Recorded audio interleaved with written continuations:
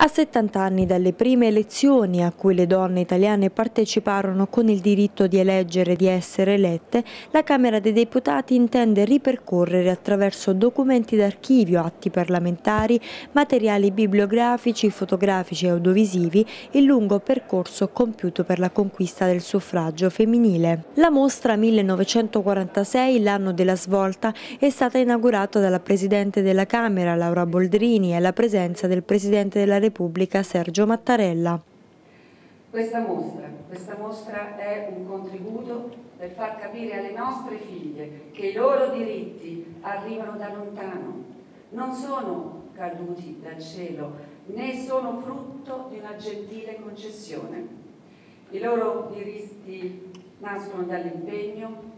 i loro diritti nascono dalla lotta, dalla tenacia e dalla perseveranza di tante donne che si sono spese generosamente per dare alle future generazioni una vita migliore. La mostra è allestita all'interno della Sala della Lupa che nel giugno del 1946 ospitò la proclamazione dei risultati del referendum istituzionale per la scelta tra monarchia e repubblica. La sala dunque dove nacque la Repubblica Italiana e che venne riaperta per l'occasione dopo quattro anni di attenti restauri. Il 1946 è stato l'anno della svolta, l'anno nel quale le donne votarono per la prima volta ed entrarono a far parte dell'Assemblea Costituente, a cui era affidato il compito di redigere la Carta Costituzionale dell'Italia repubblicana, entrata in vigore il 1 gennaio del 1948. La mostra sarà aperta al pubblico dal 1 giugno fino al 31 ottobre 2016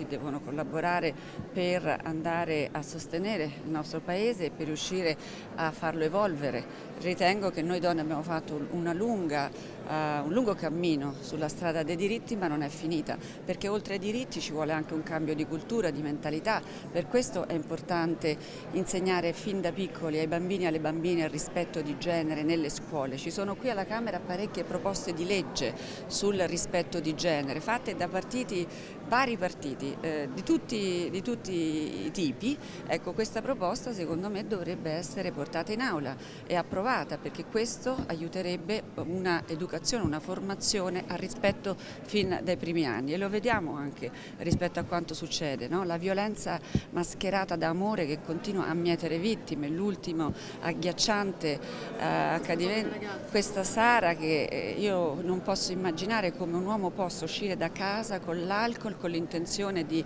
cospargere la persona che avrebbe dovuto amare e darle fuoco, cioè è aberrante.